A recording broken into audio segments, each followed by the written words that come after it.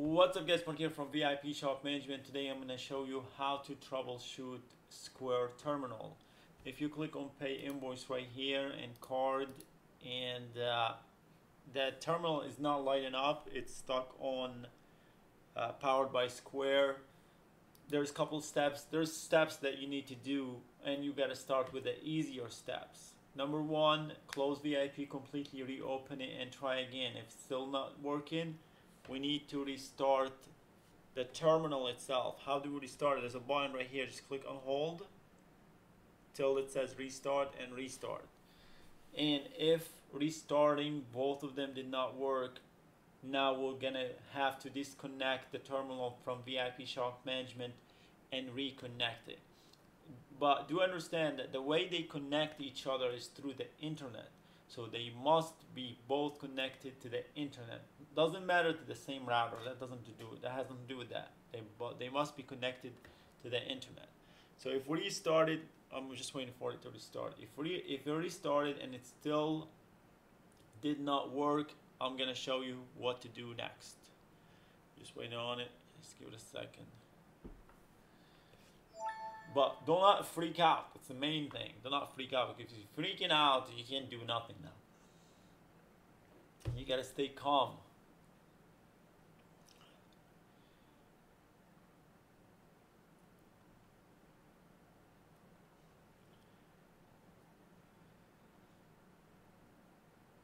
And that if, if in the morning like this, you know, it was stuck on this page, make sure you restart it. It'll be fine.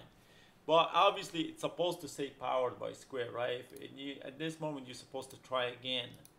And if, if it's not lighting up, in my case, obviously it's going to be lighting up, which is fine. But if it's not lighting up, now we need to disconnect it and reconnect it. How do we do? How do we disconnect it? The first thing we have to disconnect it from the terminal itself. Just slide your finger from the left to the right, and you're gonna see a menu right here. Let me do that again, and then go to settings let me do it again because I'm clicking too many stuffs at the same time. Again, so slide your finger, settings, then account, and then sign out. That's what we're trying to do, sign out. Sign out and bring it back to this page. And then click on sign in. But do not use your email. We need to use use device code. That's what we need to do. Just click on use device code and get it ready. Now in VIP Shop Management, let me put this aside a little bit. We're going to click on Square Terminal, disconnect Square Terminal right there. Disconnect Square Terminal. And now it's disconnected. So we have to disconnect it from, from the terminal and from VIP. Now Square Terminal, connect Square Terminal, authorize. And You got to go through your setup sure you know your username and password at all time.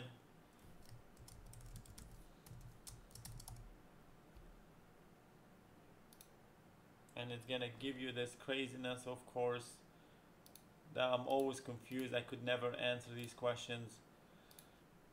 Actually, I did. Send, send me a code. Got the code.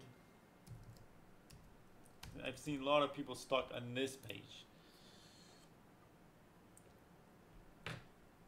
Alright, now it says request a device code. You're to click on that, select your shop, and this is the device code right here. Do not like uh, be in hurry here, just add a device code right here. So we're going to come in and type in the device code ASCNRM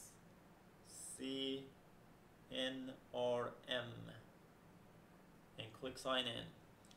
When you click on sign in, don't do anything with VIP until you see powered by Square again. Just do not do anything until you see powered by Square. Now click on test connection.